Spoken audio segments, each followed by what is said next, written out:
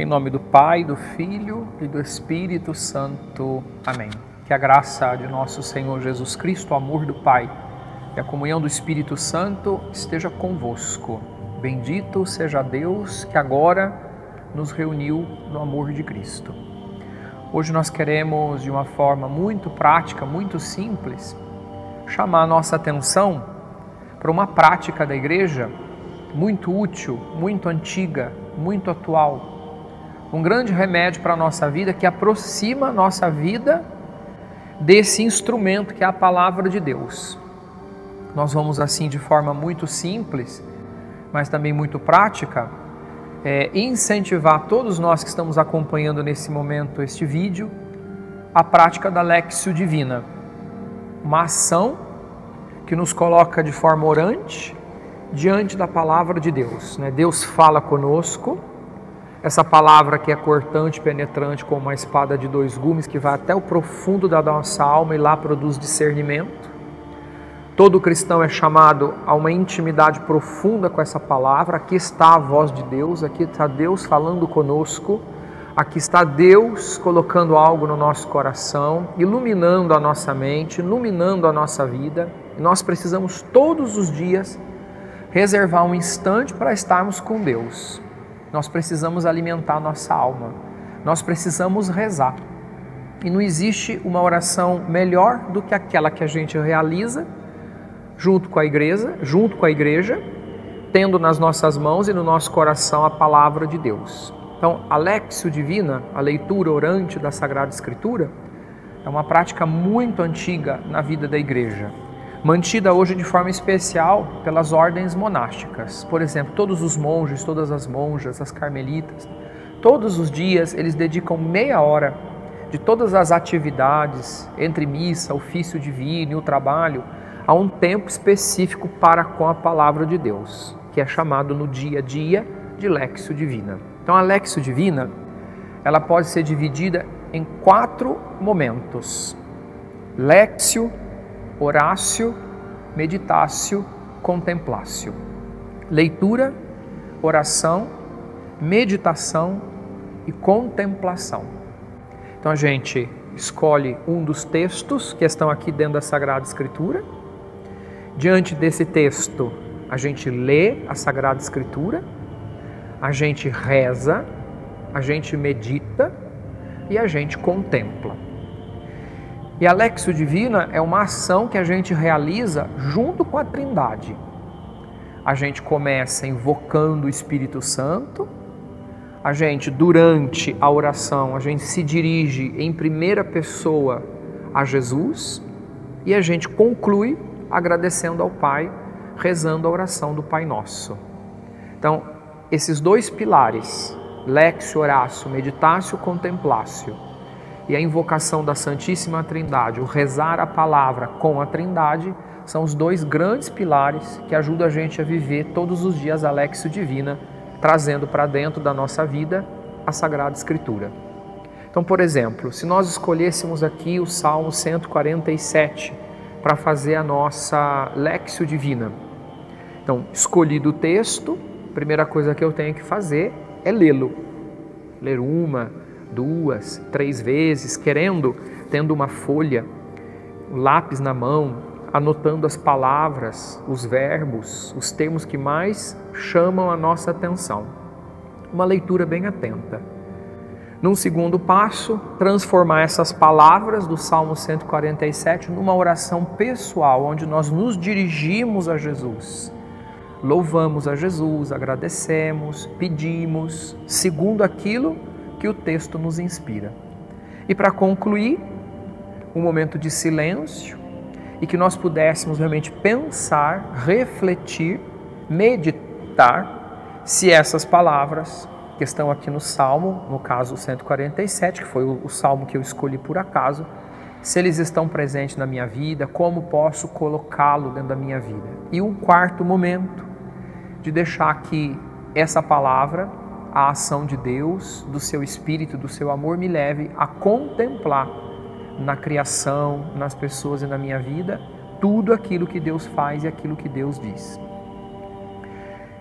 Começamos sempre a Lexio Divina depois de termos escolhido o texto, antes da leitura, da oração, da meditação e da contemplação, a gente sempre começa a Lexio Divina invocando o Espírito Santo. Você pede o Espírito Santo. Talvez a oração que a gente mais conheça seja Vinde Espírito Santo, enchei os corações dos vossos fiéis, mas você pode fazer isso espontaneamente, pedindo a presença do Espírito Santo que ele te ilumine, fazendo uma oração espontânea, para que ele, o Espírito Santo, te conduza a entender, compreender e rezar a palavra de Deus. Pedindo o Espírito Santo, você faz a leitura do texto que você escolheu e aí você vai rezar, você se dirige a Jesus. Então, como por exemplo aqui, né, o primeiro versículo do Salmo 147 diz para nós: Louvai, ó Jerusalém, o Senhor, louvai o teu Deus, ó Sião, porque ele reforçou os ferrolhos de tuas portas e abençoou teus filhos em teu seio. Então, diante desse versículo e dos outros, né, tendo pedido o Espírito Santo, me coloco diante da pessoa de Jesus em primeira pessoa eu louvo, eu agradeço, eu bendigo, eu suplico, né? agradeço, louvo, bendigo, agradeço a Ele, porque Ele é nosso Deus, porque Ele que reforça a nossa vida. Peço para Ele abençoar os filhos, a família, tudo aquilo que a palavra me inspira, eu transformo em oração e me dirijo em primeira pessoa à pessoa de Jesus.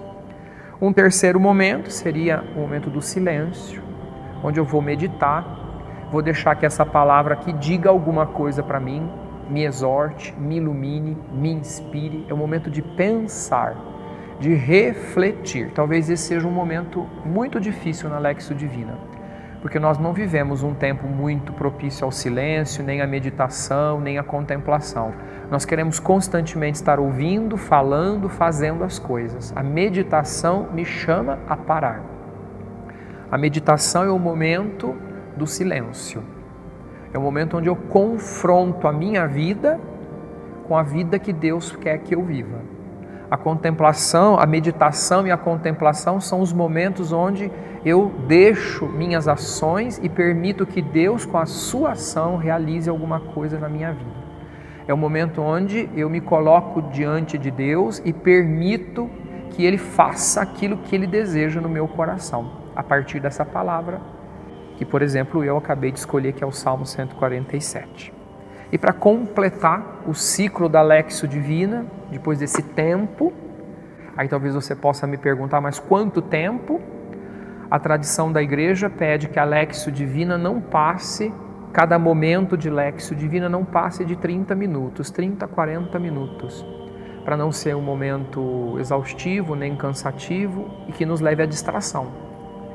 Se você estiver realmente inspirado e você continuar é, concentrado naquilo que você está fazendo por mais de 40 minutos, glória a Deus mas se você quiser dividir esse tempo durante o seu dia, que seja 30 minutos de manhã, 30 minutos à tarde, para que você não se distraia e para que isso não te canse, porque não é esse o objetivo da Lexio Divina, não é? Pelo contrário, é um momento de repouso, de atenção concentrada no coração de Deus e na Sua palavra, através da qual Ele está falando com a gente. E você encerra, então, a Lexio Divina você invocou o Espírito Santo, você leu o texto, você se dirigiu a Jesus, você rezou, você fez silêncio, meditou, contemplou as maravilhas de Deus. Você encerra a Lexio Divina agradecendo a Deus, que fala, que age, que realiza, que perdoa, que ama, rezando a oração do Pai Nosso. E com isso você fez um percurso diário, isso deveria ser diário na nossa vida, é um exercício diário que nos ajuda realmente a entender e compreender melhor a palavra de Deus, um contato que a gente vai ter com a Santíssima Trindade todos os dias, e uma forma, um método que ajuda a gente de forma muito pedagógica e crescendo no nosso encontro com Deus e com as pessoas também depois, porque de forma muito concreta essa palavra vai se tornar vida através da nossa vida quando a gente se encontrar com as pessoas dentro de casa, no trabalho, na igreja, na comunidade. Vamos nos sentir mais preparados para viver em comunhão com as outras pessoas, porque vivemos na Lexio Divina comunhão com Deus, que derramou sobre nós seu Espírito, que nos acolheu na presença de Jesus e que nos abençoa. Então eu vou invocar sobre nós a bênção de Deus, que realmente Deus fecunde o nosso coração e que esta palavra, que é a nossa arma, é a espada que Deus colocou na nossa vida, Que essa arma nos ajude no combate de todos os dias a continuarmos sendo testemunhas de um serviço alegre e feliz na igreja e pela igreja. O Senhor esteja convosco, Ele está no meio de nós. Que pela intercessão da bem-aventurada Virgem Maria, abençoe-vos Deus Todo-Poderoso, que é Pai, Filho e Espírito Santo. Amém.